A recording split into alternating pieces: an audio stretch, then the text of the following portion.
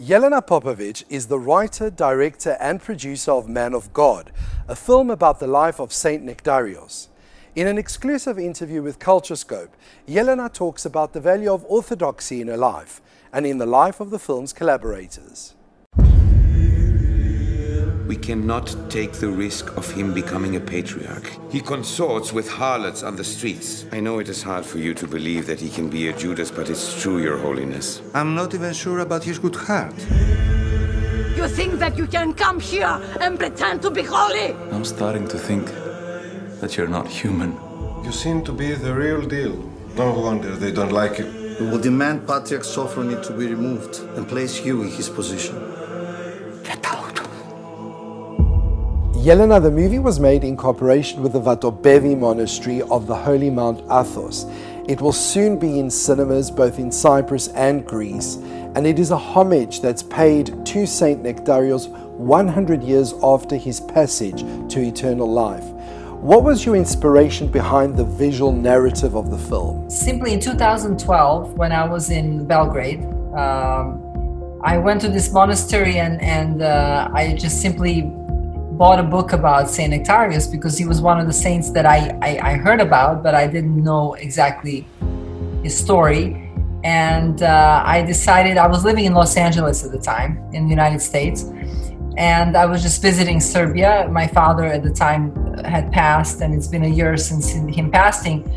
And I, I bought a book and, and I wanted to read something on the way back to Los Angeles. And then when I read about him, it's when I was struck like with the lightning. You know, it was, it was something I was extremely inspired and moved by his story, and I felt that it had elements that it would be uh, very useful nowadays. You know, uh, there there were some elements in it that are very universal that I could share with the audience, and I felt it would be a good film. I kept going with it. I didn't give up, and. Uh, thanks to Saint Nectarius, I really believe uh, the film got made at the end. What should viewers take away from the film? I hope it, it transcends to the audience, that it, that, it, that it helps people. That, that was my main goal because I feel that his story has very much that potential to help people, to encourage people, to enlighten people, uplift people, all of these great things that we all need, especially nowadays. Before you write a script, actual script, you usually have to have some kind of outline, an idea storyline and, and and you have to decide what is this film really about? You know you can make 20 different films about somebody you know but it's always better to have a um, somewhat of a premise to a story that you're you're trying to tell. I was in athens and i went to Aegina for the first time.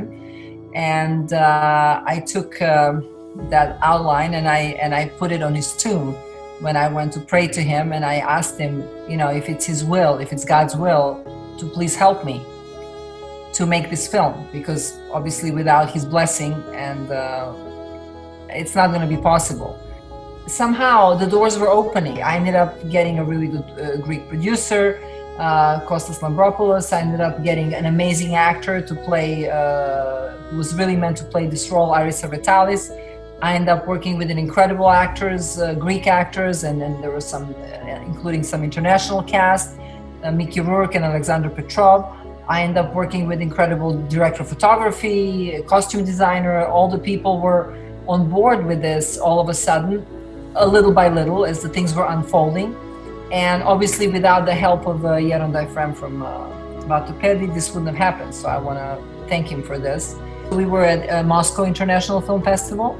Uh, we we actually won audience award in the main competition for the best film we just uh, we were also we screened the film at the Los Angeles Greek Film Festival. We also won audience award. We were there nominated for the best film, for the best director, and the best actor. Uh, but we also won audience award, and and we we are also uh, in the competition in Phoenix Film Festival in the U.S. Uh, and that's going to be uh, the film is going to be playing uh, August 14th and 15th. So, and we also have some other submissions, and but we'll see I will have to, I'll be able to talk about it subject to being accepted, you know, in the festival. Mickey Rourke has a short yet impactful role in the film. What was he like during filming and what was his encounter like with orthodoxy? I was thinking of that role. It, it plays a role of a paralyzed man who uh, in the end of the movie, obviously, he it's a true story. There was a man who was next to Saint Nectarius's bed in the hospital, and after Saint Nectarius died, who got up and walked after St. Nectarius passed away after a contact with his undershirt. I thought the movie should be done in English and have a couple of international names. And, and one of people I thought about was Mickey Rourke for that particular role. That was my at least wish at the beginning. And the reason I thought of him was because, apart from him being a, a fantastic actor, uh, obviously we know what he's capable of on, on that level. Uh, he's a great actor, but also he's somebody who who has the depth to play that role, but also somebody who has a lot of uh, heart and and and you he's all he suffered he suffered in his life and he's been troubled and he was trying he's trying to find a way you know and he's sort of a fighter you know so i felt that that somebody like that would be a good person to play that role he read a script and he was willing to do it and and um, one thing that I can say about him uh, that his approach to this role was absolutely incredible. He really uh, went all the way uh, emotionally to give me whatever he could because he knew how deep this, this performance had to be and how difficult it was. And he really, uh, all I can say, I'm very grateful that he was willing to do that and that he was just, he did it really from his heart. There was a press conference and I was there. But when we were done, I asked him, I actually took him to a church, St. Nectarius Church in Kamariza, where Ieronda Nectarius Vitalis was living. Uh, now he's passed away. Uh, and uh, he walked into the church and he kneeled down in prayer and he even had the priest pray over him. And when he walked out of the church, he was so blown away. He sat there and he said that that was the most important thing he's done coming to Greece. I understand why the people of Egypt love you. We had you here for a short time and you've performed miracles. You're a holy man, Your Grace. I lost my eyesight due to illness when I was very little. There is so much light in your presence. We feel that you don't exercise enough authority. A healthy balance between kindness and authority is best. Where is the evidence of my crime? An accusation that condemns me to a moral death.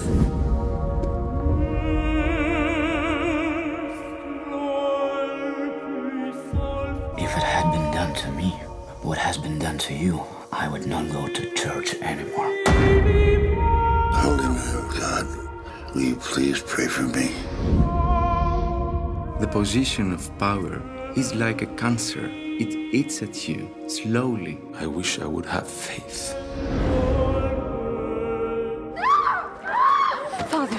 Don't you say something? It's not enough that you are trying to persuade everyone in here to become a priest. Now you're grooming nuns from here too? What are you doing with these women? Why are you doing this? Refrain from coming here!